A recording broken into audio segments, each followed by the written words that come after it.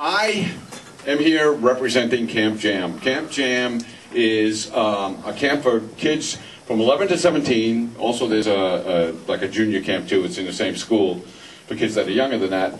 But um, Camp Jam is something that I wish I had when I was a kid. Camp Jam um, takes what we call the bedroom players, kids that practice in their bedroom and that you can hear them in there shredding away on the guitars or beating the drums to death and stuff like that.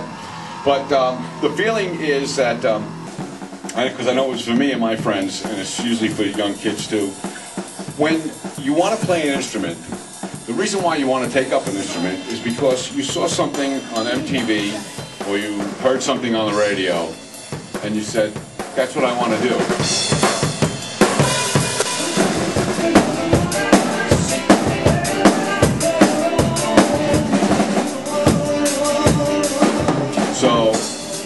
Speaking for drummers, I know uh, that you say, I want to play the drums, and, and mom and dad will say, well, why don't you go take some lessons? So the next thing you know is that you're sitting in front of a practice pad, and you're banging on this little rubber thing with drumsticks. And then after a couple of weeks of learning rudiments, you go, you know, that wasn't my intention. My intention was pointing at the TV and going, I want to do that. I want to be in a band. That's what I want to do. You know? Uh, so Camp Jam takes kids, the bedroom players, and puts them in bands with other players that are equal to their uh, ability of playing.